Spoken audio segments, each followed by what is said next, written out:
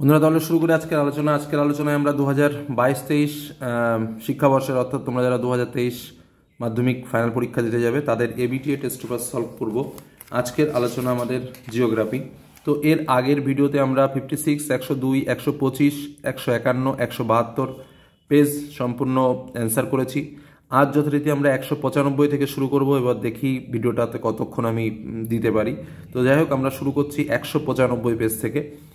প্রথম আমরা চলে যাব সরাসরি পেজ নম্বর একশো পঁচানব্বই। ইতিমধ্যে বলি, যারা চ্যানেলকে সাবস্ক্রাইব করনি, অবশ্যই সাবস্ক্রাইব করে নাও এবং বেল আইকন অবশ্যই ক্লিক করে রাখো, যাতে এরকম আরও গুরুত্বপূর্ণ ভিডিও তোমরা দেখতে পারো। চলে আসলাম পেজ নম্বর একশো পঁচানব্বই পৃষ্ঠায়।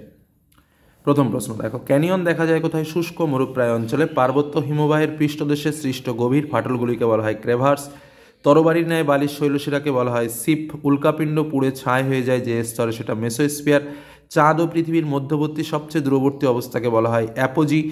ল্যাব্রাডার স্রোত প্রবাহিত হয় আটলান্টিক মহাসাগরে। নিম্নলিখিত বজ্র পদার্থটি জৈবভঙ্গুর, বজ্র পদার্থ কোনটি? জৈবভঙ্গুর। উত্তর হচ্ছে কাগজ। ভারতের রাজ্য পুনর্গঠনের প্রধান ভিত্তি ভাষা। বৃন্দ ও সাতপুরা পর্বতের মধ্যবর্তী গ্রস্ত উপত্যকার নাম হলো নর্মদা উপত্যকা। শিবসমুদ্রাম জলপ্রপাত গড়ে উঠেছে কাবেরী নদীতে। ভারতের মৃত্তিকা গবেষণাগার অবস্থিত দেরাদুনে। রেটুন প্রথা প্রয়োগ করা হয় ইক্ষু চাষে। ভারতের সিলিকন ভ্যালি বলা হয় বেঙ্গালুরুকে। ভারত থেকে প্রেরিত কৃত্রিম উপগ্রহের নাম হলো আইআরএস পরবর্তী প্রশ্ন, শুদ্ধ এবং অশুদ্ধ। পার্বত্য প্রবাহে নদীর পার্শ্বক্ষয়ের তুলনায় নিম্নক্ষয় বেশি ঠিক। হিমরেখা সর্বত্র একই উচ্চতায় অবস্থান করে, ভুল। পশ্চিম ভারতের ধূলিঝড়কে লু বলা হয় ক্র- ভুল এলনিনো প্রবাহিত হয় প্রশান্ত মহাসাগরে। সঠিক, ভারতে সর্বাধিক পরিমাণে দেখা যায় ক্রান্তীয় পর্ণমোচী অরণ্য। সঠিক, শিকড় আলগা শিল্প বলা হয় লৌহ শিল্পকে, এটাও সঠিক। সমনতি রেখা দেখাতে ভূবৈচিত্র্যসূচক মানচিত্রে কালো রং ব্যবহার করা হয়, এটা ভুল। বাদামি রং ব্যবহার করা হয়। তারপরের প্রশ্ন চলে আসি। শূন্যস্থান পূরণে দেখো। হিমবাহ সৃষ্ট উপত্যকা ইংরেজি ইউ আকৃতির হয়। বালিকাম বালুকাময় মরুভূমি সাহারায় আর্গ নামে পরিচিত। জাপান ও চীন সাগরে ক্রান্তীয় ঘূর্ণিঝড়কে টাইফুন বলে। ড্যাশস্থিতিতে জোয়ারের প্রাবল্য সর্বাধিক হয়। অমাবস্যা গ্যাসীয় বজ্রপদার্থের ব্যবস্থাপনার একটি পদ্ধতি হলো কি? স্ক্রাবার। দেবপ্রয়াগে ভাগীরথী ও ড্যাশ নদীর মিলনে গঙ্গা নদীর সৃষ্টি হয়েছে অলকানন্দা। ভারতের সর্বাধিক জনবহুল শহর হলো মুম্বাই। এসে কিউ প্রশ্ন। জলপ্রপাতের তলদেশে সৃষ্ট গর্তকে কি বলে প্রপাতকূপ বায়ুচাপ মাপার একক কি উত্তর হচ্ছে মিলিবার? উষ্ণ ও শীতল স্রোতের মধ্যবর্তী বিভাজন রেখা কি নামে পরিচিত? উত্তর হিমপ্রাচীর। একটি চিকিৎসা বজ্রের উদাহরণ দাও। উত্তর ইঞ্জেকশন সিরিজ। দক্ষিণ ভারতের দীর্ঘতম নদীর নাম কি গোদাবরী? প্রধানত কোন বায়ুপ্রবাহ ভারতের জলবায়ুকে নিয়ন্ত্রণ করে? মৌসুমি। ভারতের কাশ্মীর উপত্যকার মাটিকে স্থানীয় ভাষায় কী নামে ডাকা হয়? ক্যারে ওয়া নামে ডাকা হয়। ভারতের উপগ্রহ গবেষণা কেন্দ্রটি কোথায়? বেঙ্গালুরুতে। ডান দিকের সঙ্গে বাম দিক লোয়েসের সঙ্গে বায়ুর সঞ্চয়কার্য বছরের দুবার বৃষ্টিপাত যুক্ত অঞ্চল। করমণ্ডল উপকূল। ভারতের ম্যানচেস্টার আমেদাবাদ কার্পাস গাছের পোকা হলো বল উইভিল। চলে যাব তার পরবর্তীতে যে পেজ রয়েছে, অর্থাৎ পেজ নম্বর দুশো চব্বিশ। আমরা চলে যাচ্ছি পেজ নম্বর দুশো চব্বিশ পৃষ্ঠায়। দেখো কি বলছে, সর্বাধিক প্রভাব বিস্তারকারী বহির্জাত শক্তি কোনটি? উত্তর, নদী। সমুদ্র উপকূলে অবস্থিত হিমবাহ উপত্যকাকে কি বলে? ফিয়ড বলে। প্রাকৃতিক সৌরপর্দা বলা হয় ওজন স্পিয়ারকে। উষ্ণতার সঙ্গে আপেক্ষিক আর্দ্রতার সম্পর্ক ব্যস্তানুপাতিক। শৈবাল সাগর দেখা যায় আটলান্টিক মহাসাগরে। পৃথিবী যখন চন্দ্র সূর্যের মাঝে থাকে, তখন তাকে বলে প্রতিযোগ। জৈব বজ্র থেকে যে গ্যাস পাওয়া যায়, তার নাম বায়োগ্যাস। ভারতের পশ্চিম উপকূলের উপহ্রদগুলি হলো কয়াল। যে নদীর প্রবাহপথে শিবসমুদ্রম জলপ্রপাত অবস্থিত তা হলো কাবেরী। আম্রবৃষ্টি দেখা যায় দক্ষিণ ভারতে। স্থানান্তর কৃষিকে ভারতে বলা হয় জুম ভারতে প্রথম সুতাকাল স্থাপিত হয় পশ্চিমবঙ্গে। হীরক চতুর্ভুজ বিষয়টি যে পরিবহনের সঙ্গে যুক্ত সেটি হলো রেল। সূর্য সমলয় উপগ্রহগুলি কোন দিক থেকে কোন দিকে ঘুরছে? উত্তর থেকে দক্ষিণ দিকে ঘুরছে।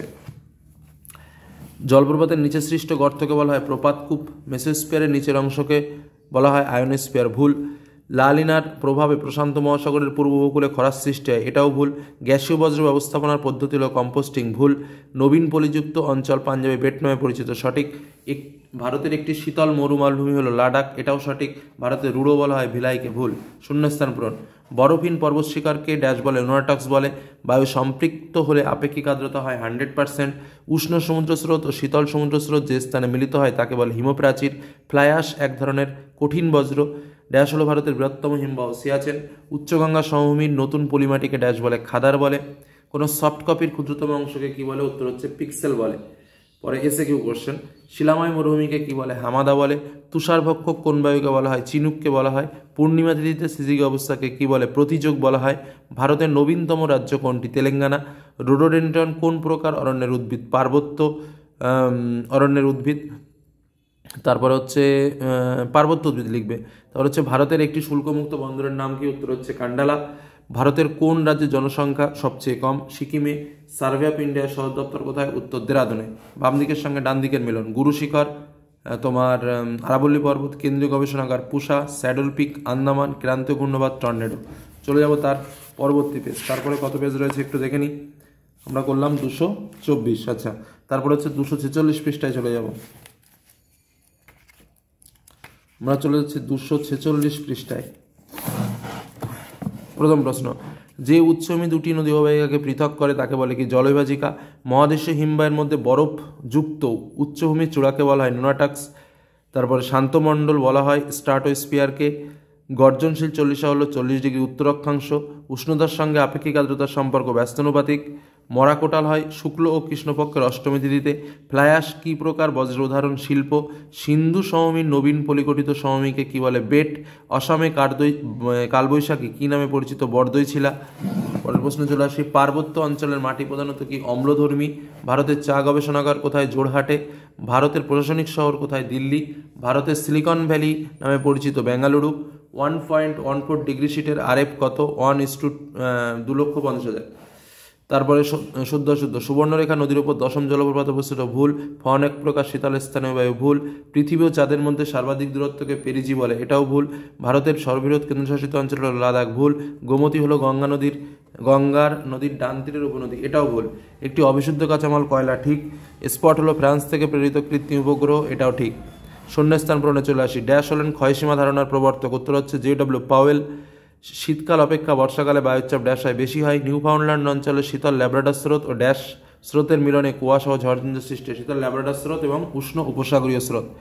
কৃষিজাত বজ্র, এক প্রকার ড্যাশ বজ্র, উত্তর জৈব ভঙ্গুর বজ্র। ড্যাশ ভারতের উচ্চতম গিরিপথ, উত্তর হচ্ছে মানা। কোনো দেশের ভূমির মোট আয়তন ড্যাশ শতাংশ বনমি থাকা উচিত তেত্রিশ শতাংশ। ভারতের দীর্ঘতম সড়কপথের প্রস্তাবিত নতুন নম্বর কত? নতুন নম্বর হচ্ছে এনএইচ ফোর্টি ফোর। ঠিক আছে, যেটা এনএইচ সেভেন ছিল। তারপরে চলে আসি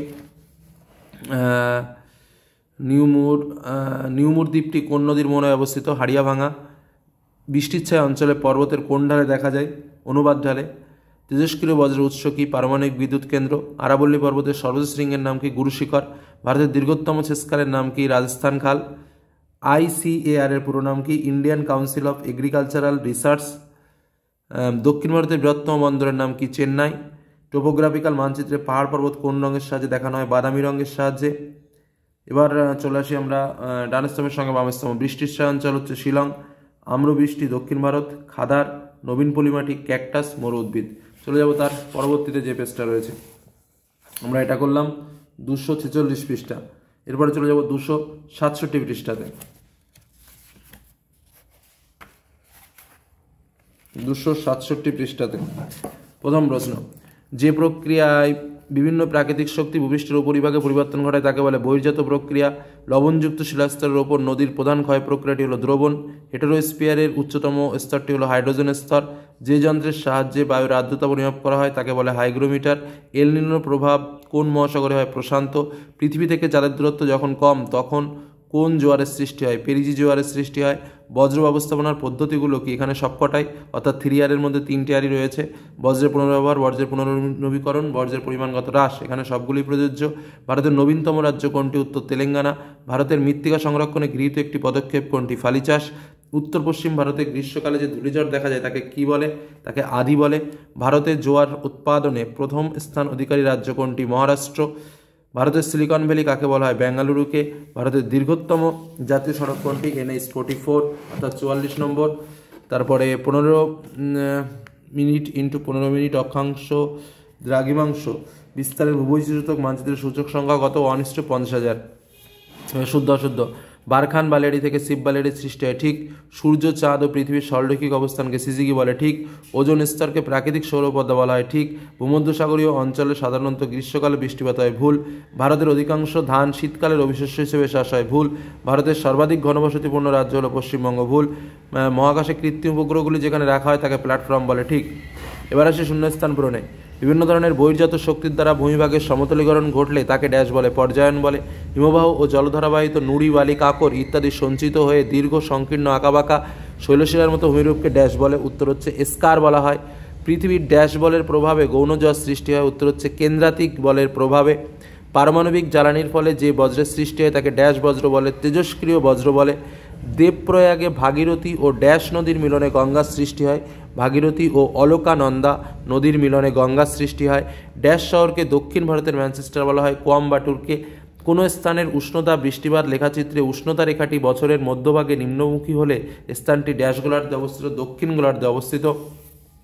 এবার এসে কিউ, যে উচ্চভূমি দুটি নদী ব্যবস্থাকে পৃথক করে তার নাম কি জলবিভাজিকা ক্রান্তীয় অঞ্চলের সমুদ্রে কোন ধরনের সমুদ্র স্রোত সৃষ্টি হয়, উষ্ণ সমুদ্র স্রোত সৃষ্টি হয়, সম্পৃক্ত বায়ুর আপেক্ষিক আর্দ্রতা কত? Hundred percent. প্লাস্টিক কোন ধরনের বজ্র? জৈব অভঙ্গুর বজ্র। ভারতের সর্বোচ্চ গিরিপথ কোন, ভারতের সর্বোচ্চ গিরিপথ কোনটি? উত্তর হচ্ছে মানা। পৃথিবীর বৃহত্তম ম্যানগ্রোভ অরণ্য কোথায়? সুন্দরবন। কোনো সড়কপথের, কোন সড়কপথের মাধ্যমে দিল্লি, মুম্বাই, চেন্নাই ও কলকাতা যুক্ত হয়েছে? সোনালী চতুর্ভুজ। কোনো উপ কোন উপগ্রহ চিত্রের, কোনো উপগ্রহ চিত্রের ক্ষুদ্রতম অংশকে কী বলে? উত্তর হচ্ছে পিক্সেল। ডান স্তম্ভের সঙ্গে বাম স্তম্ভ রাজস্থান সঙ্গে আধি। ভারতের রকেট উৎক্ষেপণ সংস্থা ইসরো। কেরলের সঙ্গে ভেমনাথ। ভারতের শুল্কমুক্ত বন্দর কান্ডালা। চলে যাব তার পরবর্তী সেটে আমরা নন স্টপ কাজ করার চেষ্টা করছি তোমাদের সুবিধার জন্য, কারণ অনেক ছাত্রছাত্রীর এখন প্রয়োজন। আমরা এবার চলে যাব পেজ নম্বর দুশো উননব্বই। আমাদের পেজ অ্যাকচুয়ালি আমাদের সবই করা হয়ে গেছে, কিন্তু যতক্ষণ আমরা দিয়ে পারি। কারণ একটা ব্যাপার রয়েছে তো সবসময় সব দেওয়া যাচ্ছে না, যার জন্য চ্যানেলের সঙ্গে থাকো, তোমরা পেয়ে যাবে সবই, ঠিক সময়ের আগেই এবং সঠিকভাবে। দুশো উননব্বই পৃষ্ঠায় চলে যায় দুশো উননব্বই পৃষ্ঠাতে চলে যাচ্ছি। যারা এখনও চ্যানেলকে সাবস্ক্রাইব করনি, অবশ্যই সাবস্ক্রাইব করে নাও, কারণ তোমরা জানো যে আমরা সবসময় চেষ্টা করছি তোমাদের পড়াশোনায় যাতে সুবিধা হয়, সেই সুবিধাটুকু তোমাদের সামনে তুলে ধরতে।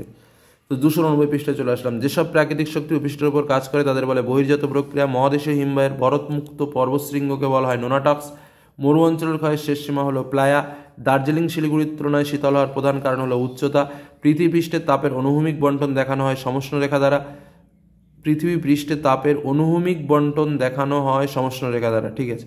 তো দেখো, ভারতে ভারত মহাসাগরে একটি ঋতুভিত্তিক স্রোতের নাম সমুদ্র স্রোত। কম্পোস্টিং পদ্ধতিতে তৈরি হয় জৈব সার। ভারতের একটি প্রবাল দ্বীপের উদাহরণ হলো লাক্ষাদ্বীপ। পার্বত্য অঞ্চলে মাটির প্রকৃতি মূলত হলো পটজল। ভারতের যে রাজ্যে বনভূমির পরিমাণ সর্বাধিক সেটা হলো মধ্যপ্রদেশ। সরি পরের প্রশ্নে চলে আসি। ভারতের গ্রীষ্মকালে উৎপন্ন শস্যকে বলা হয় জাইদ শস্য। ভারতের বৃহত্তম সরকারি লৌস্পত শিল্পকেন্দ্রটি হলো, সেটি হলো ভিলাই। দু হাজার এগারো সালের আদমশুমারি অনুযায়ী জনঘনত্ব কত ছিল? উত্তর, তিনশো বিরাশি জন। পরবর্তী প্রশ্নে চলে আসি। ভূবৈচিত্র্যসূচক মানচিত্রে মিলিয়ন শিটের বিস্তার কত? Four degree into four degree শুদ্ধ অশুদ্ধ। জলপ্রপাতের তলদেশে মন্থকূপ তৈরি হয় ভুল। মরু অঞ্চলে অবশিষ্ট পাহাড়গুলিকে ইনসেলবার্স বলে ঠিক, প্রদীপ গুণবাতের কেন্দ্রে উচ্চচাপ বিরাজ করে ঠিক, একটি বিষাক্ত জৈব বজ্রের উদাহরণ হল পারদ ঠিক, ভারতের বেশিরভাগ বৃষ্টিপাত হয় দক্ষিণ পশ্চিম মৌসুমী বায়ুতে ভুল, ভারতের বৃহত্তম মোটরগাড়ি নির্মাণ কেন্দ্রটি হলো চেন্নাই ভুল, সূর্য সমলয় উপগ্রহ মেরু কক্ষপথে পৃথিবীকে পরিক্রম করে ঠিক। এবার আসি শূন্যস্থান পূরণে। দেখো, আরোহণ ও অবরোহণের যুগ্র প্রক্রিয়া হলো ড্যাশ, উত্তর হচ্ছে পর্যায়ন। রাজস্থানের সম্বর হ্রদটি, ড্যাশ হ্রদের উদাহরণ, উত্তর হচ্ছে লবণাক্ত হ্রদের উদাহরণ। শিশিরাঙ্ক তাপমাত্রায় আপেক্ষিক আর্দ্রতা কত? Hundred percent. ভারতের ব্যস্ততম জাতীয় সড়কপথ কোনটি? উত্তর এনএইচ টু। র্যাডার হলো এক ধরনের ড্যাশ সেন্সর, উত্তর সক্রিয় সেন্সর। নদীর মোহনা ড্যাশ আকৃতির হলে বান ডাকা প্রবল হয়, ফানেল আকৃতির হলে ভারতের ড্যাশ রাজ্যে সাক্ষরতার সর্বাধিক কেরল রাজ্যে। এবার আসি এসএকিউ টাইপের প্রশ্নে। মরুস্থলী শব্দের অর্থ কি মৃতের দেশ? হিমবাহ উপত্যকার আকৃতি দেখতে কেমন হয়? ইউ আকৃতির ট্রোপোস্পিয়ারের উষ্ণতা হ্রাসের গড় কত? Six point four degree four degree centigrade প্রতি কিলোমিটারে আকাশে মেঘের পরিমাণ কোন এককে মাপা হয়? অক্টাস এককে মাপা হয়। শিল্পের বায়ুকে শোধনের জন্য প্রচলিত পদ্ধতিকে কি বলা হয়? উত্তর স্ক্রাবার বলা হয়। আন্দামান ও নিকোবর দ্বীপপুঞ্জের সর্বোচ্চ শৃঙ্গ কোনটি? Saddle Peak. কোন শিল্পকে সকল শিল্পের মেরুদণ্ড বলা হয়? লৌহ ইস্পাত শিল্পকে কত সালে ভারতে প্রথম রেলপথ স্থাপিত হয়? আঠারোশো তেপ্পান্ন সালে। ডান দিকের সঙ্গে বাঁ দিক নামচাওয়ারের সঙ্গে মিল হচ্ছে পূর্ব হিমালয়। আর্সেনিকের সঙ্গে মিল হচ্ছে ব্ল্যাকফুট। রেল ইঞ্জিনের সঙ্গে মিল হচ্ছে চিত্তরঞ্জন। মালাবারের সঙ্গে কয়াল। তো আমরা আজকে আরও পাঁচটি সেট আমরা কমপ্লিট করলাম। পনেরো মিনিট প্রায় হয়ে গেল আমাদের ভিডিওর ডিউরেশন। তো আমরা আজকে এই মুহূর্তে শেষ করছি। আমাদের অন্যান্য পেজগুলো যথারীতি করা রয়েছে। জাস্ট কিছুক্ষণ পর পর ঠিক নোটিফিকেশন টাইমে তোমরা পেয়ে যাবে। তো আজকের মতো আমরা এখানেই শেষ করছি। সকলে ভালো থেকো, সুস্থ থেকো, সাবধানে থেকো। প্রশ্নগুলো দুই চারবার একটু শুনে নিলেও কিন্তু তোমাদের মাথায় থাকবে, এটুকু বলছি। তো এর পরের ভিডিওতে আমরা চেষ্টা করব আরও পাঁচ থেকে সাতটি কোশ্চেনের সেট তোমাদের সামনে তুলে ধরার। এই বলে আজকের আলোচনা শেষ করলাম। ভালো থেকো, সুস্থ থেকো, সাবধানে থেকো। ধন্যবাদ।